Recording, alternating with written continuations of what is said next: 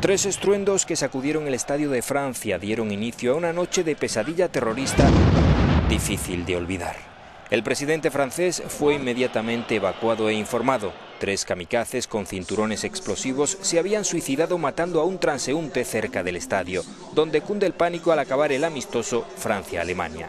Uno de los atacantes ha sido identificado como Bilal Hadfi, francés residente en Bélgica. Otro sería Ahmed al-Mohamed, de nacionalidad siria, según un pasaporte encontrado en el lugar. La identidad del tercer kamikaze sigue siendo un misterio. Mientras tanto, tres hombres armados acribillan a los clientes de varios establecimientos de ocio, el restaurante Le Petit Camboge, la cervecería La Bombière y el restaurante L'Equipe. Hay 39 muertos. Un cuarto kamikaze, Brahim Abdeslam, salta por los aires sin causar víctimas cerca del establecimiento contador Voltaire.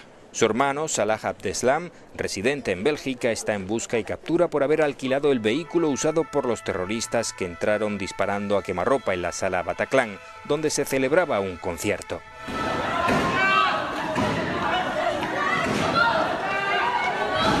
En el Bataclan se produce una auténtica masacre. Dos terroristas se hacen estallar al entrar los equipos de asalto. Un tercero es abatido antes de que pudiera hacerlo. Sami Amimur y Omar Mostefai han sido identificados como dos de los atacantes.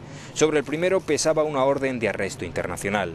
El recuento de víctimas es estremecedor. Los atentados han dejado más de 120 muertos y cientos de heridos. Los investigadores creen que su autor intelectual es el belga de origen marroquí Abdelhamid Abaoud, uno de los verdugos del Daesh más activos en Siria.